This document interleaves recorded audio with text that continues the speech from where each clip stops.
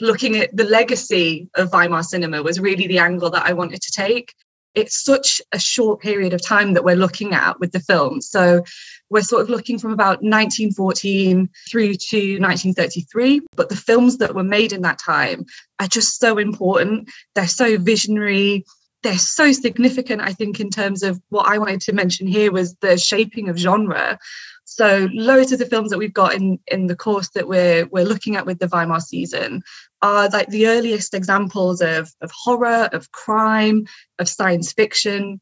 You do not need a film degree to come and discuss these films. It is completely about sharing your interpretations, your ideas, what your experience was of, of watching the film and kind of sharing those thoughts in a in a really nice way.